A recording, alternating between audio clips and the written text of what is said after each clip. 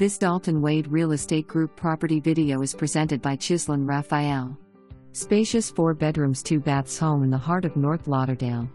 The house features a spacious living room and a family room, and a separate dining area. Spacious backyard and a pool overlooking the canal. Lots of fruits, trees, herbs, and spices. The property is close to major highways and shopping centers. This property will not last. The house needs some TLC.